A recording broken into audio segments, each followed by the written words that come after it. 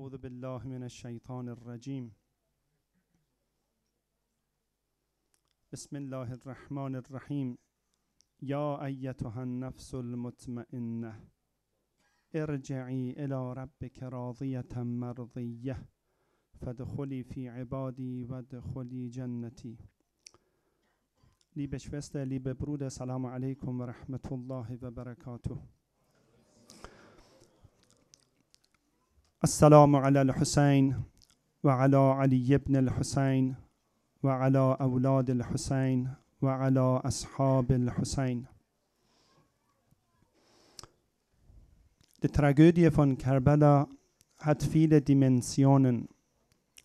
Imam Hussein, Friede sei mit ihm, versucht während dieser Tragödie von Karbala einige Lehre uns zeigen, damit wir und alle diejenigen, die behaupten, dass die die Linie von Imam Hussein folgen, aus dieser Lehre was mitnehmen.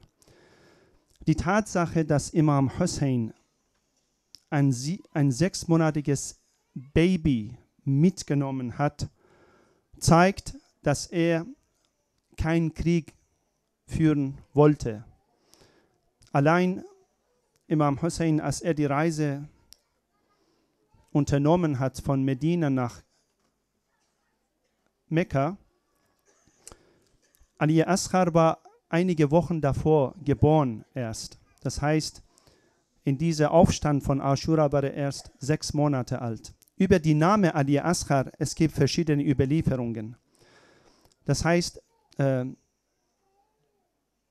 Sheikh Mufid sagt, dass Ali Ashar könnte auch verwechselt sein mit Ali Akbar. Eigentlich der sagt, Ali Akbar ist Imam Zainul Abidin, salamullah alayhi. Und Ali Ashar ist eigentlich Ali Akbar.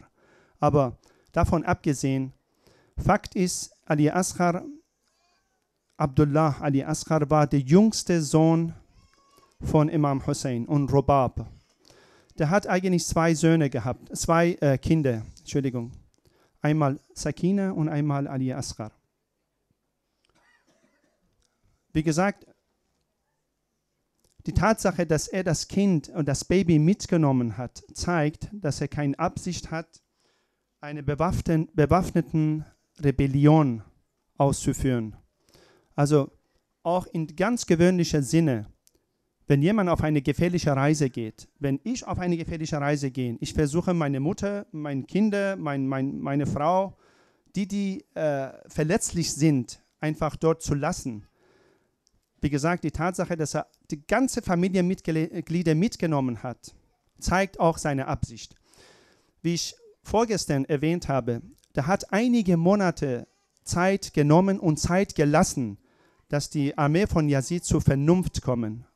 Genau am Tag und ein Tag vor Ashura hat er alles versucht, um diese, Auseinander diese kriegerische Auseinander Auseinandersetzungen zu vermeiden. Aber das ist ihm nicht gelungen, weil die andere Seite eine tyrannische äh, Absicht hat und äh, voll von Korruption und, und äh, Unterdrückung. Mit solchen Leuten kann man nicht mehr mit Vernunft reden. Gut, was mit äh, Ali Ashar passiert ist. Wir wissen schon, ab 7. Muharram war das Wasser zu. So, keiner hat Zugang zu Wasser. So, die Erwachsenen sind betroffen, die Säuglinge sind eher betroffen von dieser Durst und dieser Hunger. So, Imam Hussein hat, äh, war einmal vorbeikommen bei der Zelt von den Frauen und hat gehört ein kleines Kind weinend. Natürlich ist er zum Robab, zu Robab gegangen, die Ehefrau, die Mutter des Kindes, und hat erfahren, dass das Kind oder das, das Baby Durst hat. Also es geht wirklich nicht um Durst und Hunger. Es geht um Prinzip. Es geht um die Ideen, was, was diese Menschen hatten. Wir sehen auch äh, die Urenkelsöhne von diesen von diese Truppen auch heute, heutzutage in islamischen Ländern, was sie da überall tun.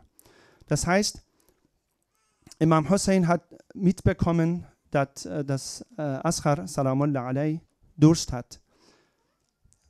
Stellen Sie sich vor, das ist eine, eine Waffe, was Imam Hussein benutzt hat.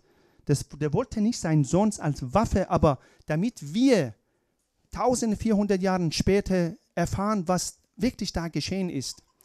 Imam Hussein hat zu Robab gesagt, ich werde ihn zu Yazid-Armee mitnehmen. Sicherlich, das ist der, das normale Verstand, sicherlich werden sie diesen unschuldigen Säugling ein paar Tropfen Wasser geben. Das würden wir auch sagen. Ein unschuldiges Baby hat mit dieser kriegerischen Auseinandersetzung nichts zu tun. Deswegen der normale Verstand sagt auch, ein paar Tröpfchen Wasser würde auch kommen. So, was hat Robab gemacht? Robab, Mutter, natürlich die Mutter wollen immer, dass das Kind auch gut aussieht und schön und hübsch. Deswegen hat sogar ein Turband um den Kopf gezogen und mit solchem äh, Zustand ist Imam Hussein auf dem Schlachtfeld gegangen. Und was hat er zu dieser Armee von Yazid gesagt? Einige Zitaten muss ich nur vorlesen, damit ich auch nicht äh, Falsches rüberbringe.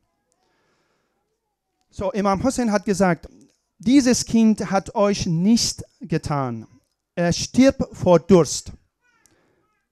Bitte gib ihm nur ein paar Tropfen Wasser. Natürlich keine Antwort kam von der Armee von Yazid.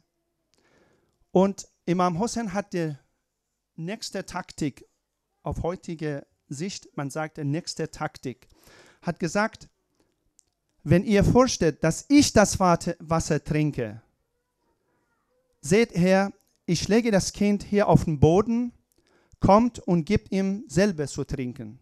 Da passierte wieder nichts. Anders hatte Imam Hussein auch nicht erwartet in Wirklichkeit. Diese grausame Taten, die er von diesen Soldaten von, von Yazid erlebt hat, hätte anders überhaupt nicht erwartet.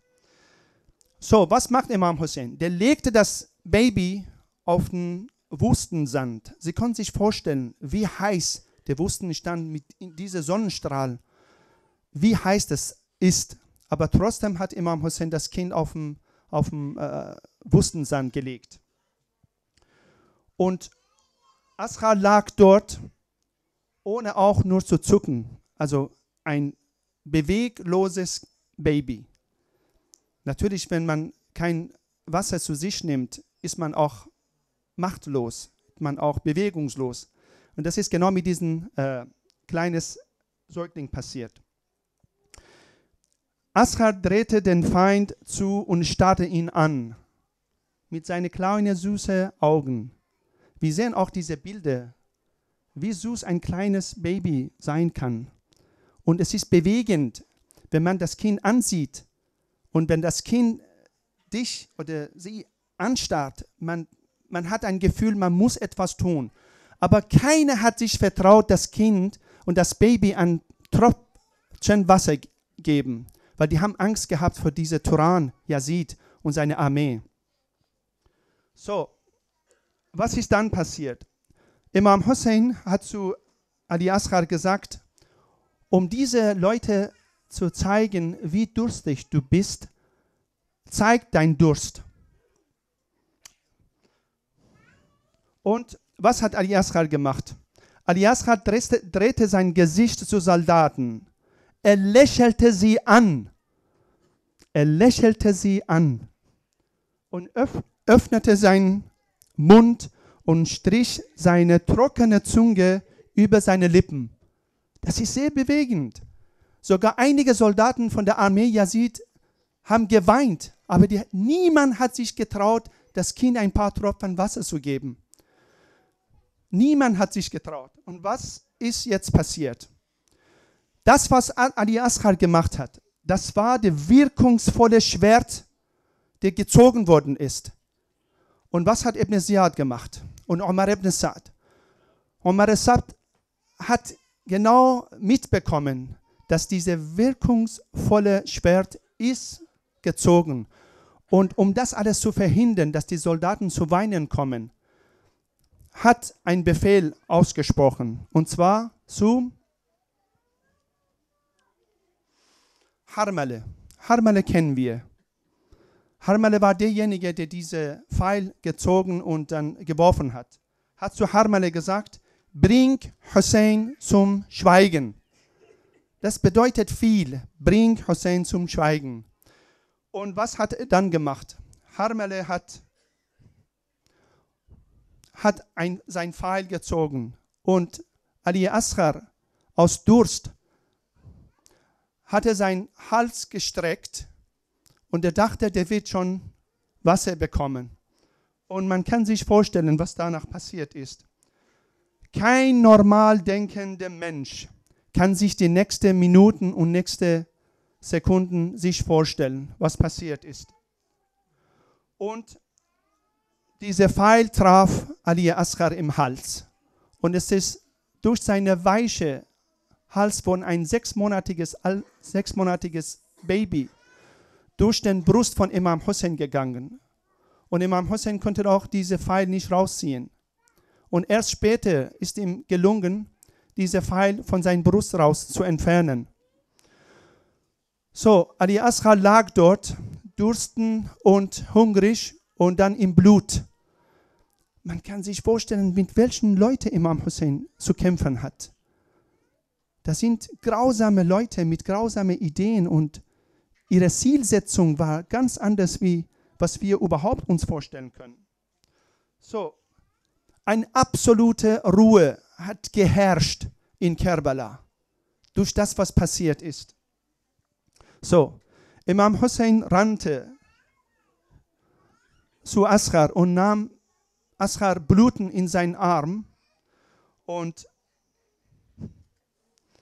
und dann natürlich Robab wartet, dass das Kind oder das Baby zurückkommt mit ein paar Tropfen Wasser im Mund. Und was ist dann passiert? Ich brauche nicht mehr zu erzählen. Imam Hussein hat gesagt, und das ist was Zitat von Imam Hussein. Ja Allah, gib mir in diesem schwierigsten Moment meines Lebens Geduld, Sabr. Kein Prophet, kein Prophet hat eine derart harte Probe bestehen müssen. Das ist sehr hart, wenn, wenn Vater sein eigenes Kind, sein eigenes Baby in den Arm hält, blutend und mit äh, trockenen Lippen und trockenen Zungen. Das ist ein bewegender Moment. Imam Hussein war auch ein Vater, ein starker Mann, aber trotzdem ein Vater, hat auch Liebe zu seinem Kind gehabt. So, Robab wartet ungeduldig, dass das Kind zurückkommt. Und in welchem Zustand? Imam Hussein geht zu Robab und der geht auch sieben Schritte zurück und sagt auch siebenmal Inna lillah wa inna ilayhi raji'un. Und letztendlich gelingt es Imam Hussein, den Pfeil zu entfernen von seiner Brust.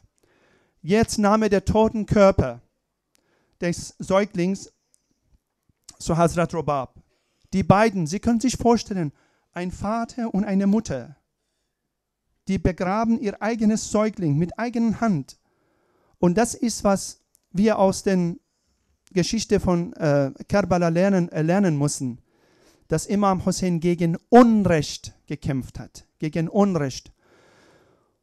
Und damit werde ich meinen heutigen Vortrag zu Ende bringen. Allah la'natullah ala al-qawmi al-zalimin. وسيعلم الذين ظلموا أي منقلب ظلموا أي منقلب ينقلبون والعاقبة للمتقين والسلام عليكم ورحمة الله وبركاته.